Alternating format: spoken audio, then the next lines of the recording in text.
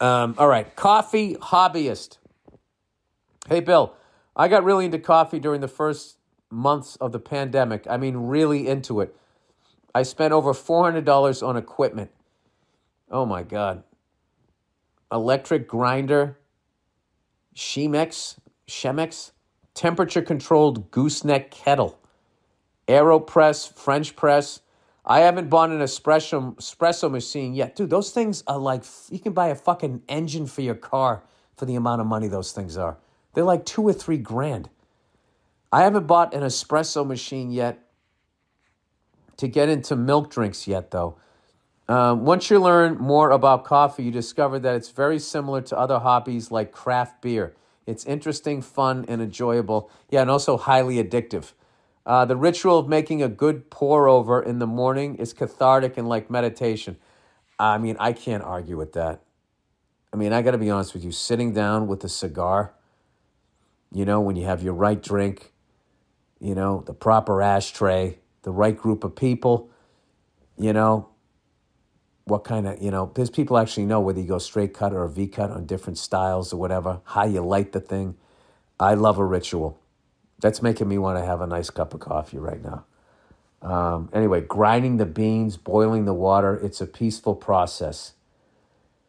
Um, you should take up a career in writing about coffee because I got relaxed just reading that. Uh, ever since then, I only grind and buy fresh roasted beans from the local roasters in my city and state to support small businesses. Jesus Christ, is this who did Santa Claus write this? This is incredible.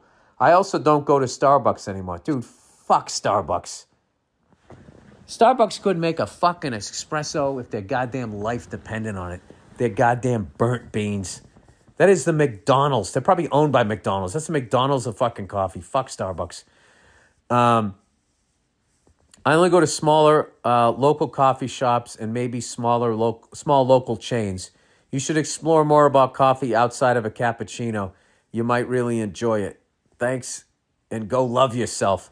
Look at this person. Just this person here has figured out life. Um, why don't you help me out? I just love a cappuccino so much. Um, I've never tried anything else, no Americano or whatever. I've never done that. I like an espresso or a cappuccino. Um, I'm sort of parked there until I get sick of it. You know, I, I did find a. Uh, I was in a part of Hol- uh, Hollywood I'm never in, and I found this this um, coffee shop that was um, it was made from an old gas station, um, and they made a great espresso and cappuccino. Um,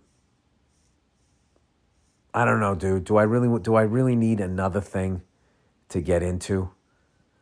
You know, because then I'm gonna go out and then I'm gonna have to buy this stupid espresso machine and then I'm gonna buy the beans and I'm gonna do all of that. You know what? I actually I looked into it and what I actually thought was, you know what? I'm gonna let somebody else who figured this out make this shit for me and I'll give them my money.